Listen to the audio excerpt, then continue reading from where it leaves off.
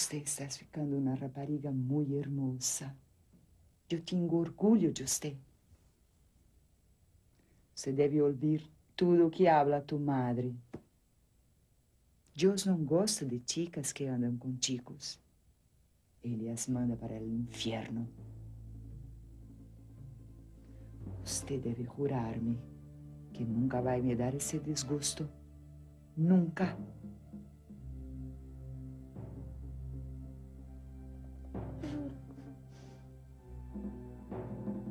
Juro que puedo confiar em você, Carmencita. Juro.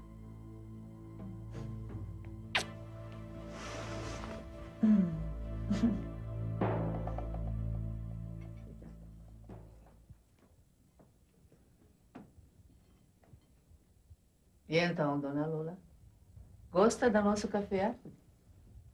É diferente, não é coado, não é mesmo? Mas é muito mais saboroso, Júlia. É, é. Dona Lula, a senhora ainda não escutou Maria Laura recitar, não?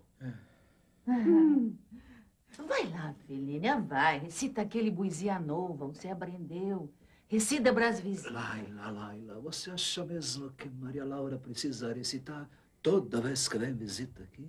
E a Habib Assadi. Este é um belíssima poesia, Maria Laura Brendeu.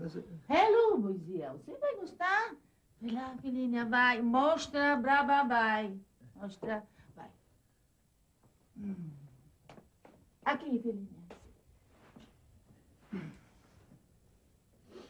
De Casimiro de Abreu, meus oito anos. Oh, que saudade que eu tenho da aurora da, de minha vida, da minha infância querida que os anos não trazem mais. Que amor, que sonhos, que flores, uh, naquelas tardes fagueiras, a sombra das bananeiras e debaixo dos laranjais.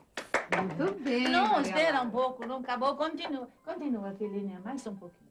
Como são belos os dias, no despontar da existência. Respira a alma inocência como o perfume de flor. O mar é um lago sereno. Então, estamos combinados. Amanhã você me pega para irmos visitar a Justina. Mas olha, você acha mesmo que fazer uma visita é a melhor maneira de eu passar meu último dia aqui em São Paulo? Quem mandou ficar dois dias sem me visitar? Eu prometi a Timília que eu ia visitar a Justina e não posso falhar. Depois, eu quero que você conheça minha tia rica. Ela vai lhe falar da tradição da nossa família. Vai fazer você ver que não está entrando numa família de perrapados quaisquer. Tá certo, tá certo. Então a gente vai lá amanhã. Mas antes eu... Eu quero um beijo. Nada disso. Por hoje chega. Acabou-se que era doce. Quem comeu, arregalou-se.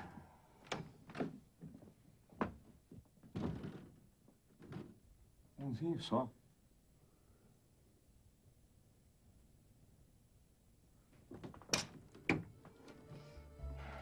Amanhã tem mais.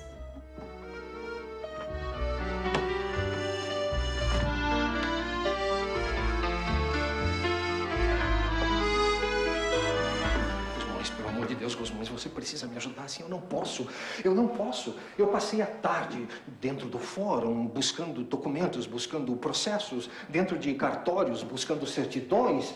Eu, eu, essa mulher quer me deixar louco? Não tem jeito, Almeida. Os caminhos da justiça são tortuosos e muitas vezes impenetráveis. Ô, Aníbal! Aníbal! Manda buscar um maço de Holanda na esquina que eu tô sem cigarros. Vamos, homem! Que moleza! Você quer apostar que ele vai me trazer caporal douradinhos? Ele não sabe fazer nada. Escuta aqui, ó, oh, Gusmões. Eu perco um dia de serviço dentro do fórum, correndo atrás de processos, atrás de certidões.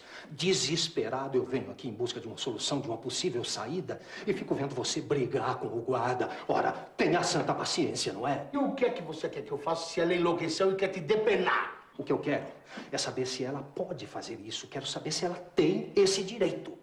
Bem, direito não. Mas da maneira que o advogado dela está trabalhando, estamos no Brasil. Tem jeitinho para tudo. Meu Deus do céu, meu Deus. Eu, eu vou acabar me arrebentando tudo. Quer saber de uma coisa? Vai mesmo. Não existe inimigo mais cruel do que uma mulher com vontade de vingança. Se ela quer o teu pescoço, ela consegue. Quando Maria Laura nasceu, eu baixou muito mal, hein? Eu baixou quase sete meses de cama para não ver de criança. Eu já sabe nunca perdoa esse. Ele fica sempre falando, isso é muito ruim para Maria Laura, filha única. Cresce criança muito mimada. É. Mas para vocês não tem esse problema, não? São quantas filhas mesmo? Quatro. Os dois menores já estiveram aqui. Sim, eu lembro, eu lembro. Foi ideia da Assad para distrair Maria Laura. E Alfredo e Carlos são os mais velhos. Então, quase uns rapazinhos. Até hoje o Carlos andou me fazendo perguntas sobre amor. Imagine só.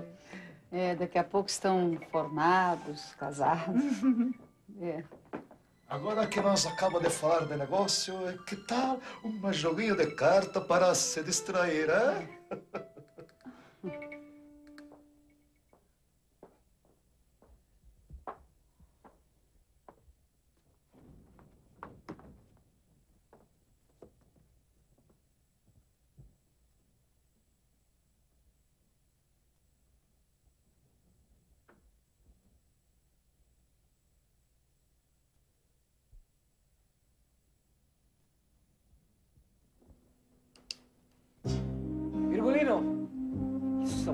um homem decente chegar em casa. Olha o relógio, Virgulino. Olha o relógio. Que relógio? Qual o relógio, Genu? O que houve com o relógio? O relógio quebrou, não é? Não se faça de bobo, não é, Virgulino? Você não me disse que hoje ia chegar em casa cedo? Não, eu não disse nada, eu não disse nada. Eu não- eu- eu- você entendeu tudo errado, eu não disse nada. Eu disse isso ontem, hoje eu não disse nada. Virgulino, Virgulino, você não vai me fazer de boba, não. Você quer me explicar o que fazia esse pano preto entre os teus guardados? Não vai me dizer que agora está metido com baixo espiritismo, não é? Porque isso aqui só pode ser coisa de fazer despacho. Cuidado, hein, Virgulino? Um dia a polícia ainda te pega. Se fosse mesa branca, vá lá. Mas isso, Deus me livre.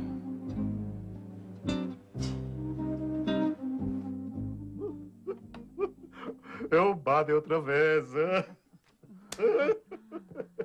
A, a senhor Júlia e dona Lola hoje não estão com sorte mesmo, é? Se eu posta não fosse leite de pato, ah, senhor Júlio, o senhor ia perder um dinheirama mesmo hoje aqui. é? Vocês não sabem como este jogo de cartas é bom, é? Distrai, é? Não deixa a raciocínio enferrujar. Sabe, é uma coisa que mexe mesmo com o meu sangue, é?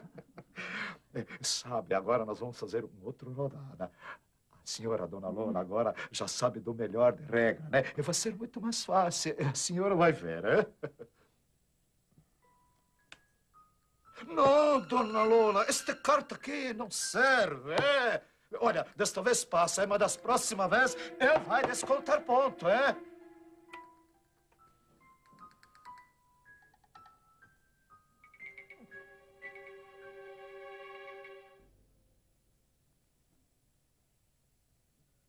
Ai.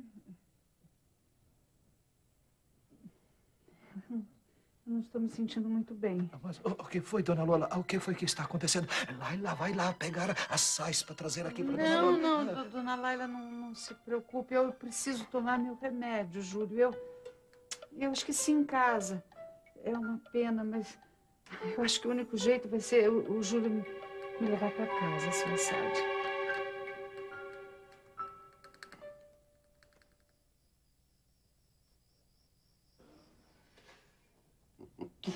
Lola, eu pensei que eu fosse morrer com aquele turco. De repente, ele soltou a tramela e falava, falava, falava. Não parava mais de falar. Mas, Lola, eu estava, eu estava tão nervoso que qualquer coisa que caísse no meu estômago virava veneno. Ah, mas eu percebi, porque eu estava lá conversando com a, com a dona Laila e olhando, olhando lá para vocês, louca de vontade de saber o que vocês estavam falando. Você nem imagina o que foi. Eu tinha certeza que alguma coisa importante ia acontecer. O turco me fez uma proposta de sociedade na firma. Júlio. Júlio, então por isso que eles estavam nos tratando tão bem? Lula, quando ele me fez a proposta, eu fiquei sem fala. As minhas pernas ficaram tão bambas Hum. que eu não, não conseguia pensar em nada para responder. Não, mas você me contou agora, eu tô tremendo até agora, olha. Mas o, o turco não percebeu nada. Ah, o pior foi depois, quando ele disse que eu tinha que entrar com capital. Aí eu perguntei assim para ele: de quanto? Aí ele olhou para mim, parou um pouco, olhou, coçou a cabeça com a mão e disse assim: mais ou menos uns 50 contos. 50 contos? Mas esse homem pensa o quê? Que nós somos ricos? Ah, de certo, ele sabe que nós temos essa casa. Certa vez eu disse que essa casa era nossa. Eles não sabem que ainda faltam vários, vários anos para nós acabarmos de pagá-la. Mas e o que que você disse? Júlio, você não mentiu pra ele, mentiu? Lola, eu nem me lembro o que foi que eu falei. A verdade é que me deu um frio no estômago e a minha cabeça martelava assim: 50 contos, 50 contos, 50 contos. Lola, aonde é que eu vou arranjar 50 contos? Você percebe, Lola? A sorte não bate na nossa porta duas vezes. Nós temos é que, que agarrar a oportunidade. É, ele podia muito bem ter convidado o Almeida, alguém da colônia, mas não, ele preferiu a mim, Lola. A mim. Quer dizer, eu preciso segurar esta oportunidade. Isso é claro, Júlio. Mas agora vem deitar, vem. Se acalma um pouco. Amanhã nós, nós vamos pensar melhor no assunto.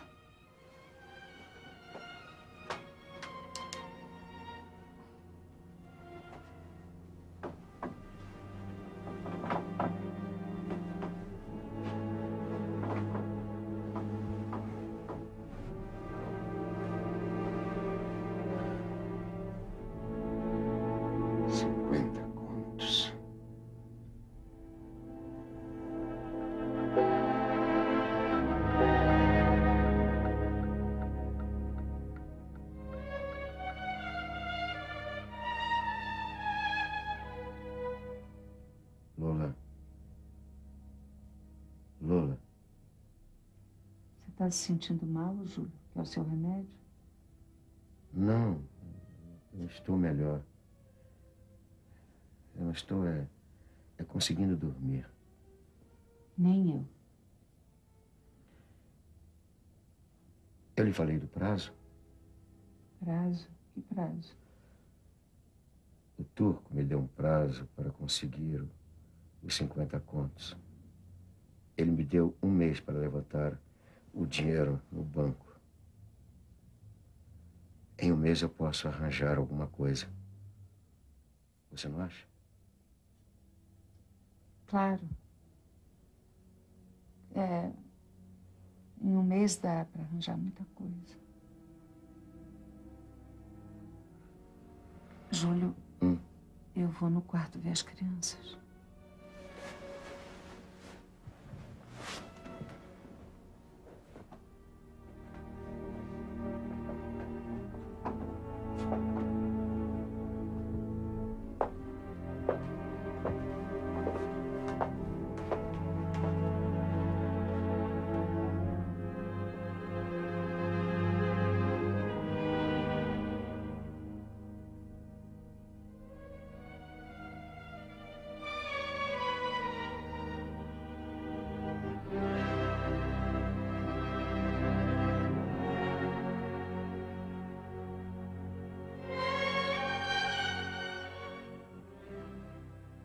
Minha mãe me ajude.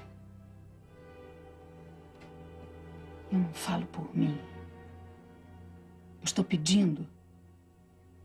E pela minha família, pelos meus filhos, pelo meu marido, minha mãe. O Júlio precisa desses 50 contos. Ajudai-o, por favor. Mãe, é a primeira vez na vida dele que ele tem uma oportunidade. Fazer com que ele consiga esse dinheiro. O Júlio não pode se sentir um fracassado. Não pode.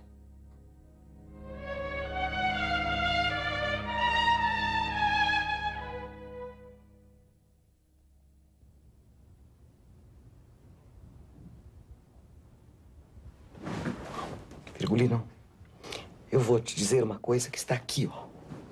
Se você estiver metido com baixo espiritismo, você vai se ver comigo.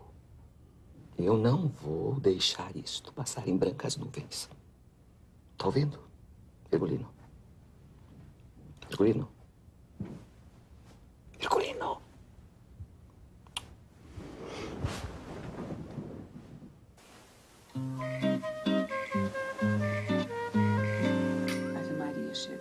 Graça, o Senhor é convosco. Bendita sois vós entre as mulheres. Lola! E bendito é o fruto do vosso Lola! ventre, Jesus. O que, é que você está fazendo Santa- aí? Eh, Já vou, Júlio. Eu vim tomar um pouco de água, já vou. Minha mãe, me ajuda a passar esse mês. Me ajuda.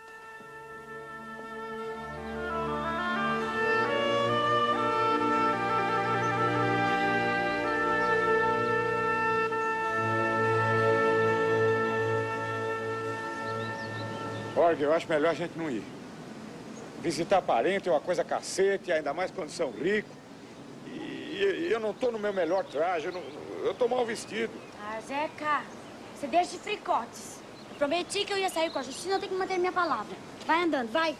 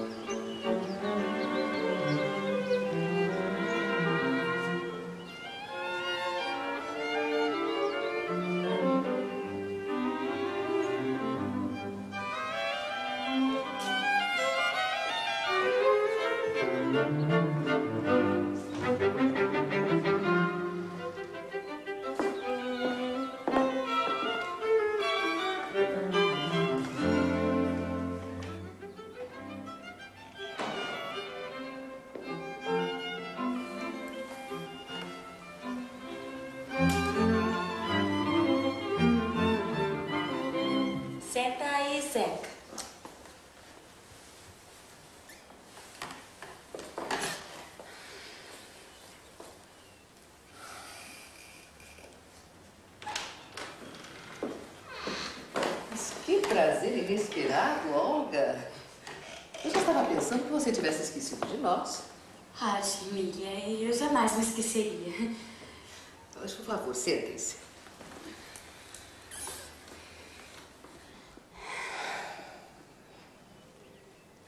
Oh, desculpa, tia Emília. Esse aqui é o Zeca, o meu... Meu... Muito prazer. José Carlos Marcondes de Bueno, um seu criado. Marcondes e Bueno. É um belo sobrenome. O senhor com certeza descende de duas famílias ilustres. É, não, é, não muito. Mas, mas como não? O Bueno vem de Amador Bueno, grande brasileiro, e originariamente de um ramo muito ilustre de espanhóis, os Bueno de Rivera. E os Marcondes vêm de Mariconde, dos Mariconde da Itália. Puxa vida, como é que a senhora consegue guardar todos esses nomes na cabeça? Só parece uma enciclopédia. Ah, nem tanto, é, é apenas um passatempo meu. Fazer a árvore genealógica de velhas famílias paulistas. Mas é como eu lhe digo, Olga, você teve muito bom gosto. O jovem aqui